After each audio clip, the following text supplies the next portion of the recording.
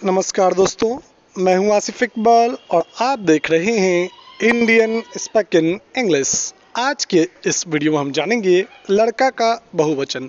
कि लड़का का बहुवचन क्या होता है, लड़का का बहुवचन क्या होगा? तो लड़का का बहुवचन होता है लड़के। लड़का का बहुवचन होगा लड़के। आज के इस वीडियो में इतना ही। फिर मिलेंगे एक नए वीडियो में। तब तक के लिए चैनल को सब्सक्राइब कर दें, वीडियो को लाइक कर दें। धन्यवाद।